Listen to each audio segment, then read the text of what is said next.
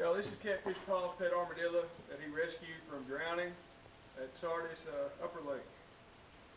He had been treading water for hours. And now he's uh, alive and well here on the Williams Plantation. And now he's our barnyard pet. And he's pretty tame. Kind of surprised.